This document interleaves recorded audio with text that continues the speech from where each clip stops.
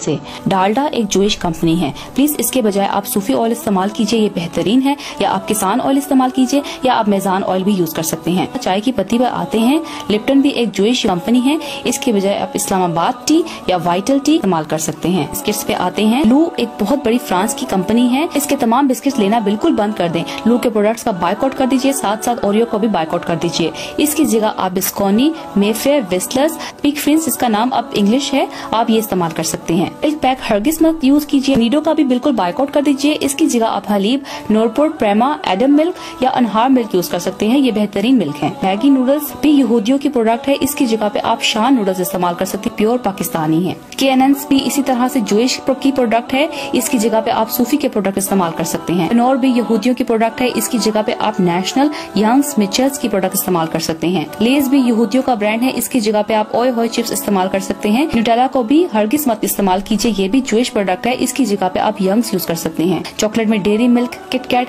Boycott कीजिए Zoish product है। इसकी जगह पे आप नोवेला या सोनट का इस्तेमाल कीजिए। यूनिलीवर यहूदियों का बहुत बड़ा ब्रांड है। बहुत सारे और प्रोडक्ट्स आते हैं। रफान भी इसी का हिस्सा है। रफान की तमाम अशिया लेना बिल्कुल बंद कर दीजिए। इसकी जगह आप नेशनल मिचेल्स लजीजा यंग्स की प्रोडक्ट इस्तेमाल कर सकते हैं। जूसेज में आप तमाम टैंक के जूसेज लेना बिल्कुल बंद कर दीजिए। इसकी जगह आप जामे शीरी, रू अफजा, लीमो पानी इस्तेमाल कीजिए और पाकिस्तान की इकोनॉमी में इजाफा कीजिए। इसलिए भी जूश कंपनी है। इसके जूस में फ्रूटा वाइटल का इस्तेमाल बिल्कुल बंद कर दीजिए, इसका बाइकआउट कर दीजिए। इसकी जगह आप पुटियन या मज़ा की प्रोडक्ट इस्तेमाल कर सकते हैं। आइसक्रीम्स में वॉल्स और ओमोर का बिल्कुल बाइकआउट कीजिए, ये जूश प्रोडक्ट है। इसकी जगह आप हीको की प्रोडक्ट इस्तेमाल कर सकते हैं। शुगर की जगह शक्कर इस्तेमाल कीजिए। के एफ़ सी मैकडोनल्ड की जगह हॉर्डी से खा लें। खुदारा अपने मुल्क की इकोनॉमी में इजाफा कीजिए। हैं यहूदियों की बैकबोन की तरफ़ की मशरूबात कोल्ड ड्रिंक्स की तरफ़। पेप्सी को बाइकआउट कीजिए। तो इन यहूदियों, इन काफरों, इन एंटी मुस्लिम एंटी इस्लाम जो मुसलमान के दुश्मन है इकोनॉमी वैसे ही गिर जाएगी। ही पैसों से हमारे मुसलमान बहन भाइयों का सरेआम कत्ल कर रहे हैं। गजा में, फलस्तीन में, लिबनान में पेप्सी को कोला का खुदारा बाइकआउट कीजिए।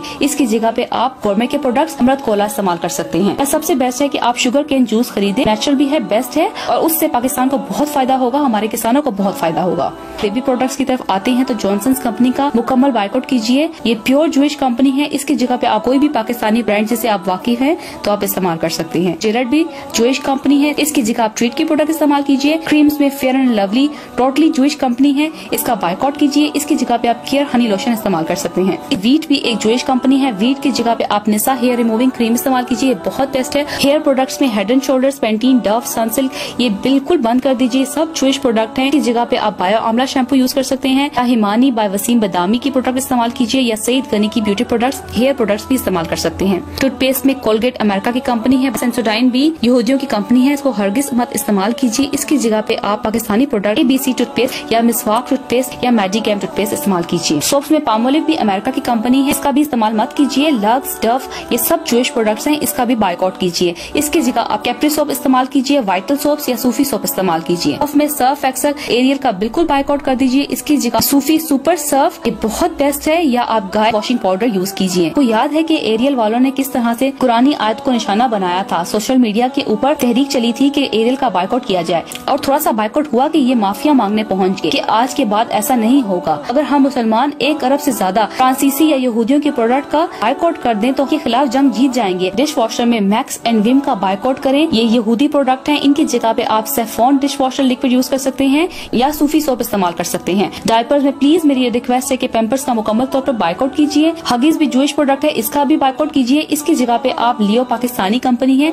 उसके डायपर्स यूज़ करें या मॉलफिक्स डायपर्स भी यूज़ कर सकते हैं। ये बहुत बेस्ट है। मेकअप की तरफ़ आते हैं तो रेवलॉन लोरियल ये सब जोइश कंपनी है। इनका बिल्कुल बाइकआउट कीजिए। इसकी जगह पाकिस्तानी मेकअप ब्रांड इस्तेमाल कर सकते हैं, जो की बहुत ही बेहतरीन है। नबीला मुसरत मिसबा ओडो बाय अतीका ओडो काशी बाय काशिफ ये सबसे बेस्ट मेकअप प्रोडक्ट्स हैं। क्लोथिंग और शूज़ की तरफ़ आते हैं तो Boss Levi's Marks and Spencer Armani जैसे तमाम ब्रांड्स का बाइकआउट कीजिए। इसकी जगह पाकिस्तान के ब्रांड्स खाड़ी गुल अहमद वर्दा स्टाइलो और सर्विस जैसे ब्रांड्स को प्रमोट कीजिए। और आप एक बहुत ज़रूरी प्रोडक्ट जो कि बहुत ज़्यादा यूज़ होती है सैनिटरी पैड्स तमाम बहनों से गुजारिश है कि ऑलवेज जैसे मनहूस यहूदी ब्रांड का इस्तेमाल करना बिल्कुल बंद कर दीजिए। और इसके बजाय सेंटेक एक पाकिस्तानी बहुत अच्छा ब्रांड है जिसमें Butterfly other comfort real packaging में न्यू है, ये बहुत बेस्ट है। ऑलवेज को बाइकआउट करने से वाहियात एड्स भी खुद ब खुद टीवी चैनल्स पे चलना बंद हो जाएँगे। वीडियो में मैंने बहुत सी जुइश और बहुत सी पाकिस्तानी प्रोडक्ट्स को करने की कोशिश की है। आपकी आसानी के लिए मैंने एक चार्ट बनाया है। इस चार्ट को डेवलप करवा कर अपने किचन या अपने फ्रिज पे लगाएँ, ताकि आप चलते फिरते तमाम पाकिस्तानी अशिया को जहन नशीन कर सकें और अपने फ्रेंड्स और फैमिली के साथ शेयर करके अपना अपना फ़र्ज़ अदा करें। मेरी आपसे रिक्वेस्ट है कि सोचिए कि हम इन चीज़ों को फरोग दे रहे हैं। हमारी हलाल की कमाई किन लोगों को जा रही है? यहूदी, पैलेस्टाइन, गजा पे बॉम्बिंग करके लाखों की तादाद में मुसलमान का कत्ले आम कर चुके हैं। क्यामत के दिन ये जवाब तो दे पाएँगे ना कि एटलीस्ट हमने उनकी चीज़ों से रिकॉर्ड किया। नफरत की उनकी चीज़ों से। अल्लाह हमारी छोटी सी काविश को कबूल करे, आमीन। तमाम लेडीज़ से गुजारिश है कि ग्रोसरीज किचन के स्टाफ का उनको ज़्यादा इल्म होता है। तो नेक्स्ट टाइम कुछ भी खरीदने से पहले पाकिस्तानी प्रोडक्ट्स को जहन नशीन कर लें। वीडियो खत्म करने से पहले मैं पाकिस्तान की कंपनी जो जेर कायदियानी है, उन पर भी नज़र डालना चाहती हूँ। कायदियानी पाकिस्तानी मिनोरिटी के तौर पर मौजूद है, लेकिन हम इनको और इनकी चीज़ों को नहीं तस्लीम कर सकते, क्यूँकी कायदियानी खत्म नबूत पर ईमान नहीं रखते। हमारे प्यारे नबी पाक वसल्लम को आखिरी नबी नहीं मानते। हमारा फ़र्ज़ बनता है की हम इनकी चीज़ों ऐसी दूर रहे। हमारा मज़हब हमारे मुल्क ऐसी भी बढ़कर है। पाकिस्तान में जो कंपनी कायदियानियों की है, उनका भी मुकम्मल तौर पर बाइकआउट किया जाए। जैसे की कैनोलिव ऑयल इसका बाइकआउट किया जाए। साइका घी भी बाइकआउट किया जाए।